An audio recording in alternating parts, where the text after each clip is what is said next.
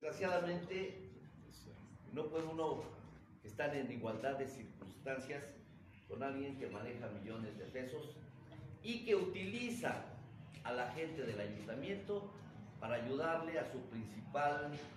este, mecenas, que es el candidato al PRI en Tlatlauqui, manda a la gente del ayuntamiento de Quetzalan, so pena de que los va a, este, a despedir y la gente del ayuntamiento pues nos los dice que ellos tienen que ir a hacer campaña a Tlatlauqui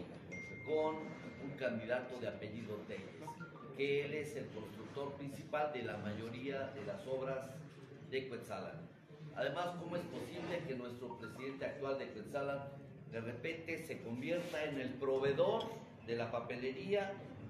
que tenga ya su propia constructora, que haga obras,